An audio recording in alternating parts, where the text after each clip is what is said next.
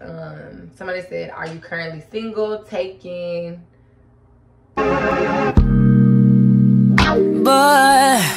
you know I love you. Oh, with everything you do.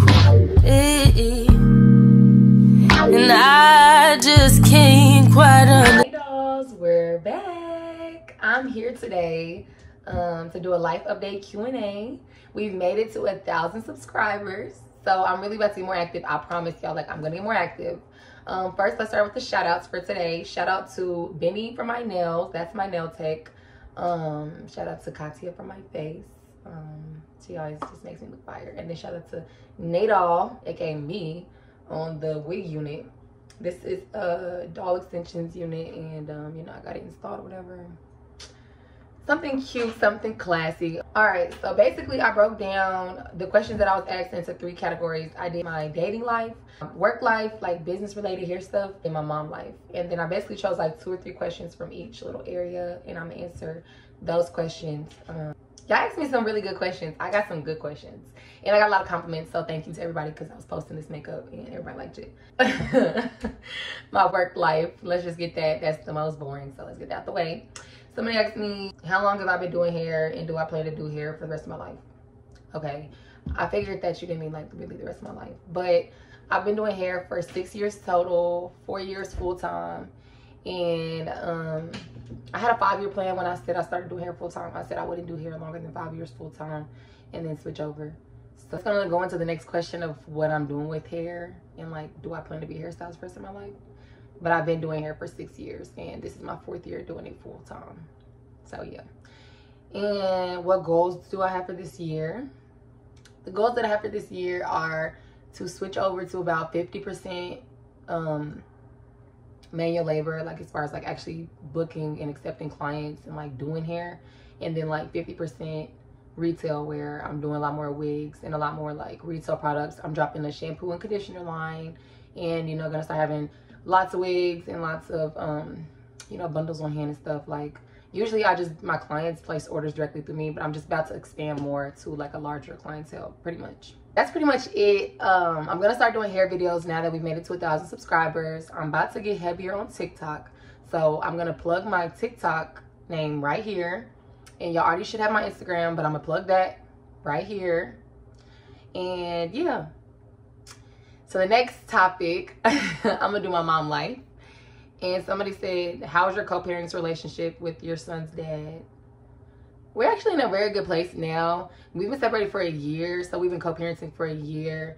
And it was not really the best in the beginning, but it's cool now. Like I can't even complain. I mean, we kind of just have our little arrangement. It works, and you know he does his part. You know, I mean, regardless of, I mean, it's a lot. Regardless, you know what I'm saying. But um, I'll answer more on this second question. Then the second question said, "What does your weekly schedule look like as a mom?"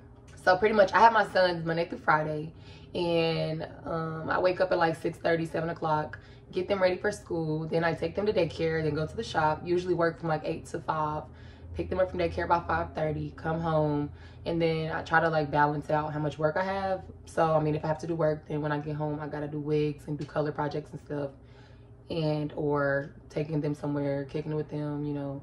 I gotta cook dinner every night gotta do bath time every night. So it's like i try to have my sons in bed about 9 p.m and then that's when i get like my little couple hours you know to myself. But it's a very busy schedule like always on the move like definitely busy, definitely just a lot. But I love being a mom though. And somebody asked me, how is being a mom of two? So it's like, in the beginning, it's very difficult. I'm not gonna lie, like it's difficult. And when I first had my second son, me and my sons that were together, but it's still very hard getting, especially an infant and a toddler when they were born, and then now to have two toddlers. Look, child, my oldest son will be four later this year so he's calmed down a lot more. Like he's real chill now and he don't really like he don't really give me a lot of problems. He's real chill now because he's older and you know he really just likes to have an activity to do or to watch a movie. Like he's real chill. The baby boy he's about to be two next month and he's very bad. Like he's the real sweet one but he's very bad. Um yeah, he's bad, y'all. But he, they're so cute. Anthony's the older one, or AJ, and then Aiden's the baby boy. But I don't really like having the cameras in their faces a lot because I mean the internet's kind of weird, and you just never know. Same time, people are weird, so you just never can trust the internet too much with your kids. So I just be kind of like I don't know, hesitant about uploading them all the time. So now, now the last question is going to be about my dating life, the real realty. The first question was, why did my last relationship end? That was my relationship with my son's dad.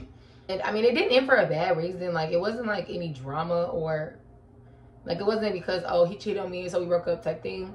Um, the relationship was decent. Like, it was cool. I think it just was that we were young when we got together, and having kids is like a lot of responsibility. and I think we just outgrew each other, and we were just in different places of life.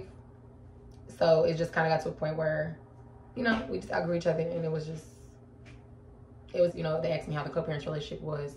It's decent. Like we're good now. I mean, we pretty much, you know, do everything smooth, and it's cool. Anywho, back to the dating life. Um, somebody said, "Are you currently single? Taking?" I'm not taking. I'm single. I've been single for like a year now, a little over a year, and um, I mean, it's cool. Like, I'm not, I, I haven't just been lonely the whole time. So it's like, I mean, being single is not that bad. I'm starting to get in a place where I think I want to like a little boo or actual boyfriend. I'm so busy that, I don't know, it's not like at the top of my priority list. But I would like a boyfriend probably in like the next year to be in a relationship. If I can find Prince Charming. Because the streets is not for me. Like, I'm not a hot girl. This is not me. So I need to get, you know, I mean, I don't need to get nothing because I'm good regardless. It would be nice to, you know, have a little, little thing. Um, they asked me, someone asked me would I ever date younger than me? Not really. I don't really like younger guys. Um, I mean, it's just not my preference. But I don't like super old either because I cannot do like later 30s. Like my friends and talk to grown grown men, y'all, and I'm just not into like grown grown men. Like I don't know. I mean, to each his own. I'm not judging, but me personally, like you got gray hair, can't do it. And the younger than me, even like a year younger than me, like I'm 22, so like even a year younger than me, I don't think I. I like my dudes to be a little bit older. So that's just me. Then somebody said, if you are single, do you have a boo?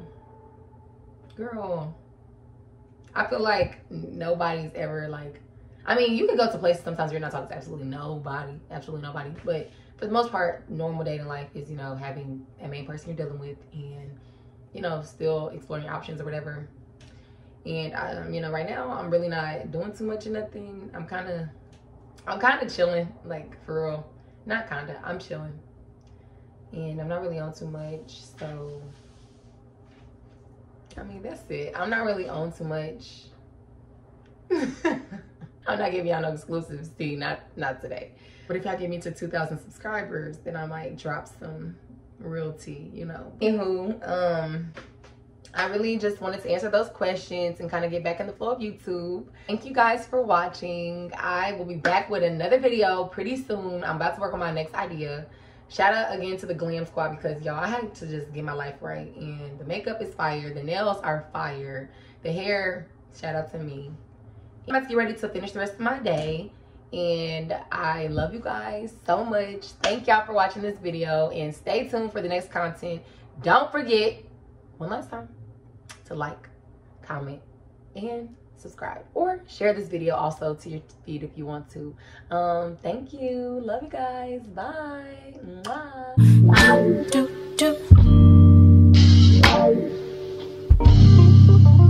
Yes, it I